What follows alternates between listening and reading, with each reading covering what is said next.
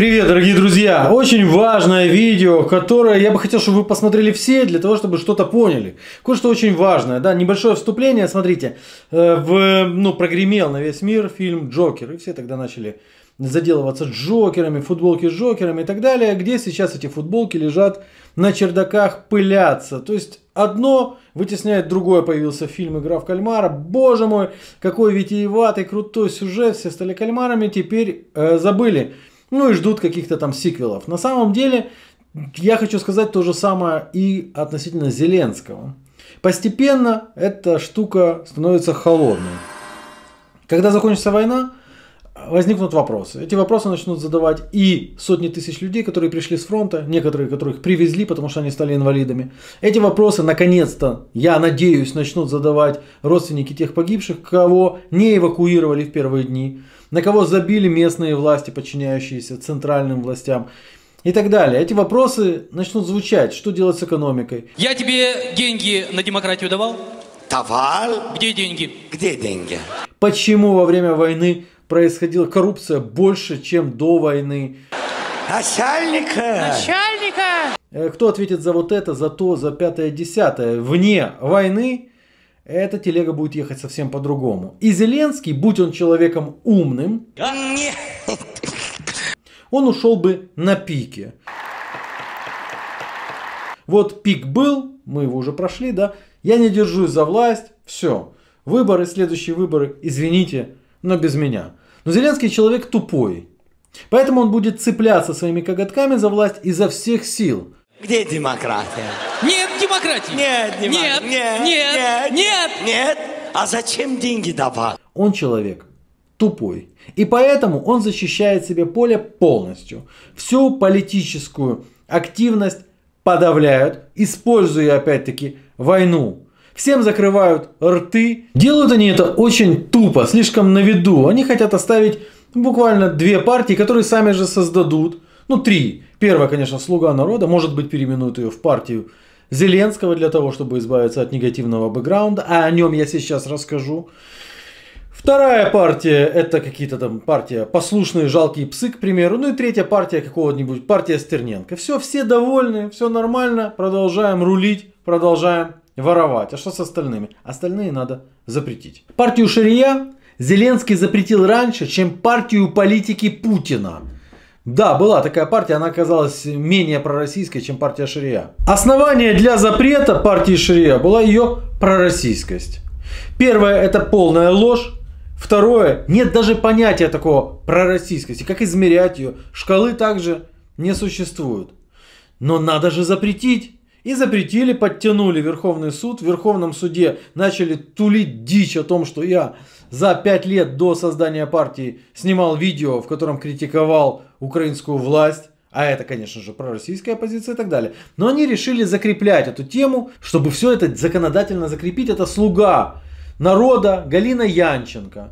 Вот эта вот э, телка с герпесом на губе разработала методологию и совместно с фракцией «Голос», очень мощной фракцией, внесла в форме законодательства на рассмотрение Верховной Рады законопроект. Нужны пояснения к законопроекту, и поэтому вот это вот чучело огородное объясняет, какие партии являются пророссийскими на самом деле, и главное, почему. Янченко ломает голову, как привязать партию Шария к пророссийскости, и потом выдает следующий текст. Партия Шария, наряду с другими партиями, готовила почву для полномасштабного вторжения России. Ну, это же четко законодательно понятно. Готовили почву, Начнем приготовление с шоколадной земли. На сковородку добавляем сахар, воду.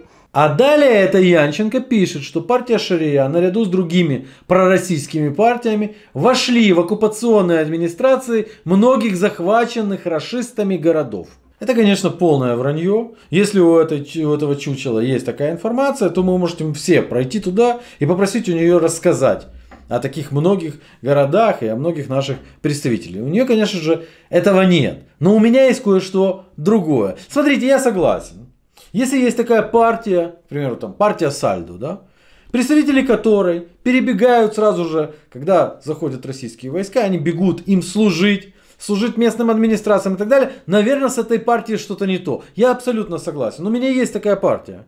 Партия, сука, называется «Слуга народа». Эту партию необходимо запретить. Хочу сказати, якщо хтось з них раптом спокусився на пропозиції від цих окупантів, ви підписуєте собі вирок. А ее лидера и духовного наставника Зеленского посадить за измену родине. Хай знають усі колаборанти, яких вони знайдуть, що Україна їм не пробачить. Слуги народа заявляют в этом самом законопроекте, что партии депутатов, которые перешли на сторону оккупанта, не имеют права больше баллотироваться никогда. Ну что ж, давайте от слов к делу, к конкретике. Самая коллаборационная партия. Партия настоящих предателей и мразей. Александр Брюханов, мэр города Южный в Харьковской области, баллотировался на должность мэра от слуг народа. Развлекал Зеленского собственной персоны, когда тот гастролировал по объектам большой стройки. Через 4 дня после начала войны его арестовали за переговоры с российской стороной и саботаж обороны города.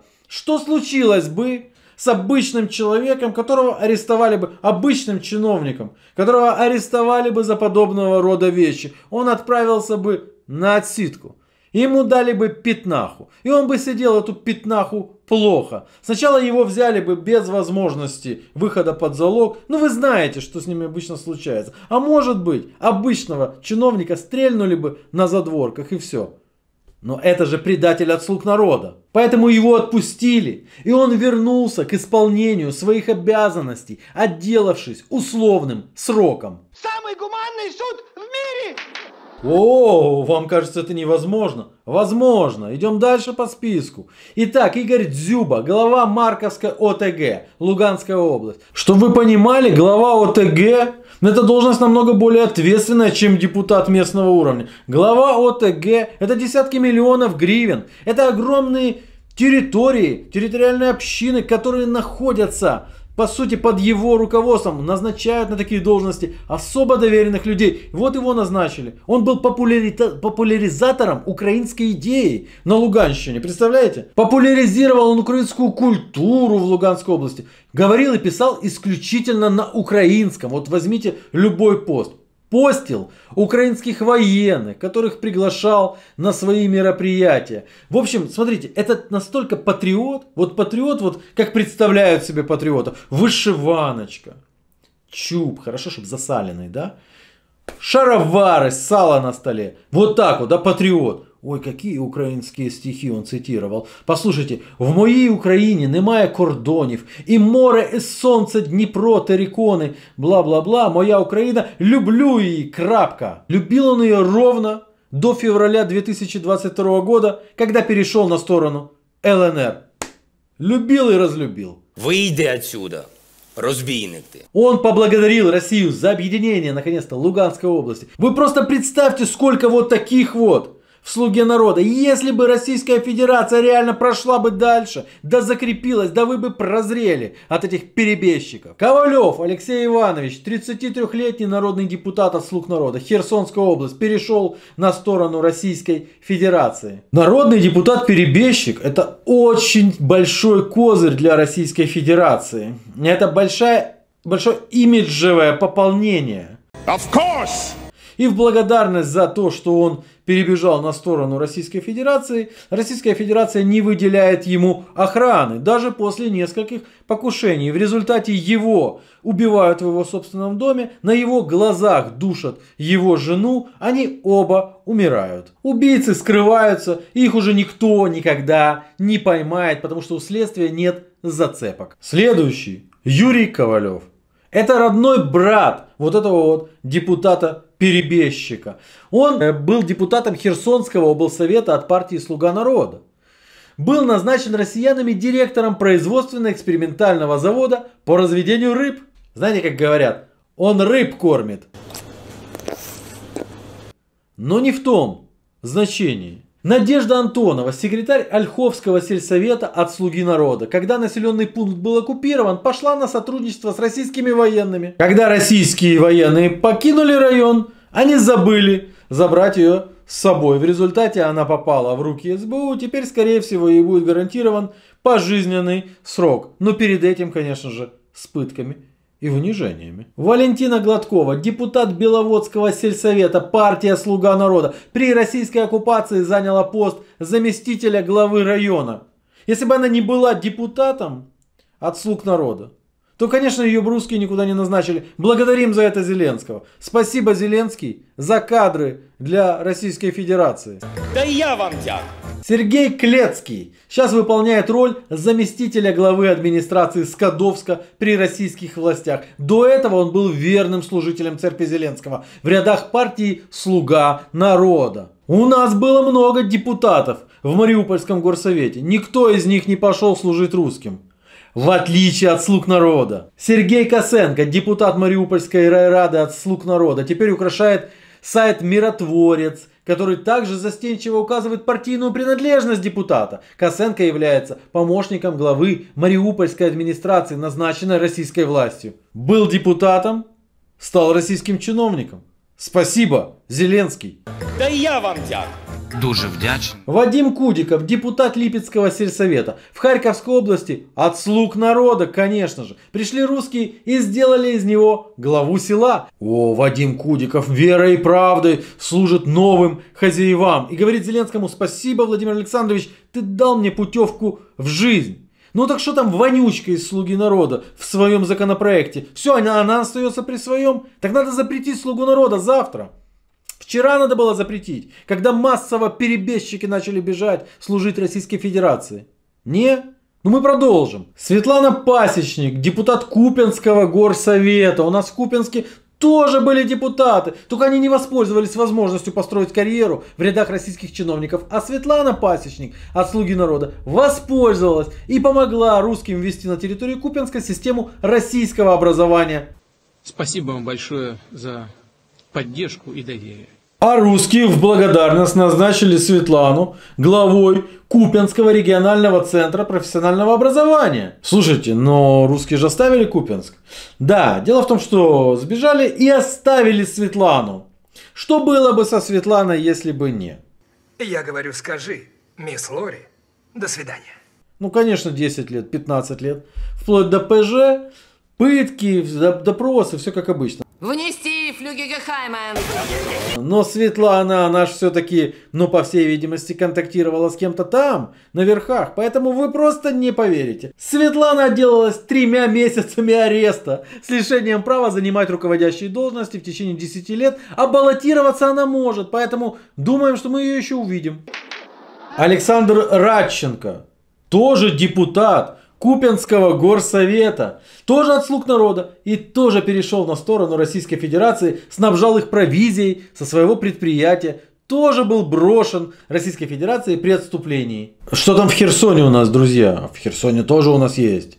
Данил Репелевский. Данил Репелевский, депутат Херсонского облсовета от слуг народа, помогал российским военным расквартироваться в Херсонской области, помогал в финансировании референдума за присоединение Херсонской области к Российской Федерации. Людмила Хатиенко. Еще один мэр-перебежчик.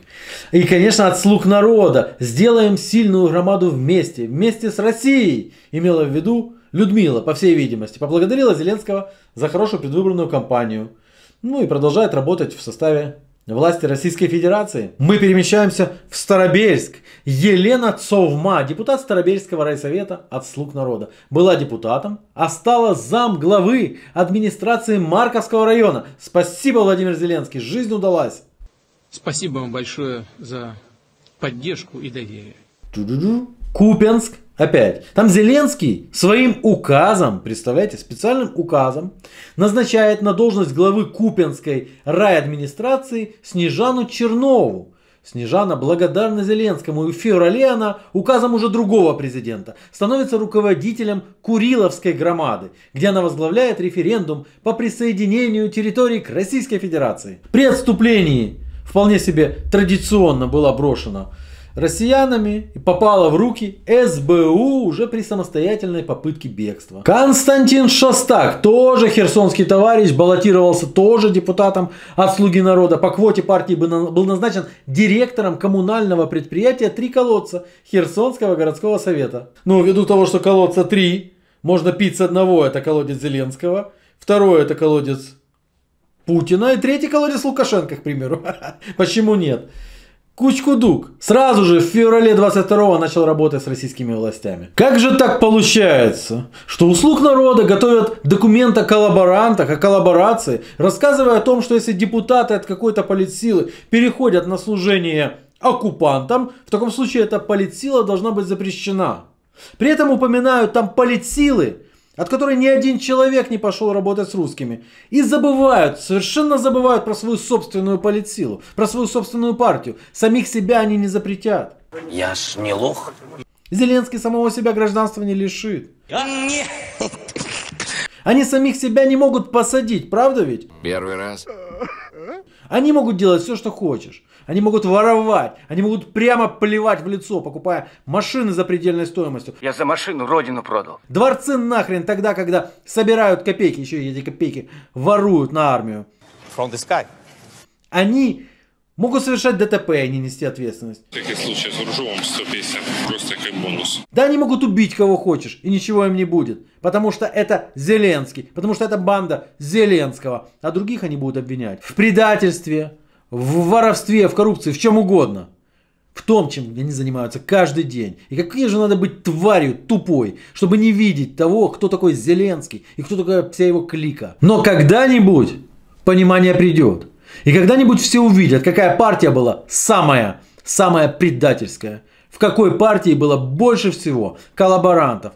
И кто больше всего сдал Украину до этого, размахивая флагом, хотя в вышиванке, читая стихи «Украина мыла». У меня все. Пока что. Хороший список, правда?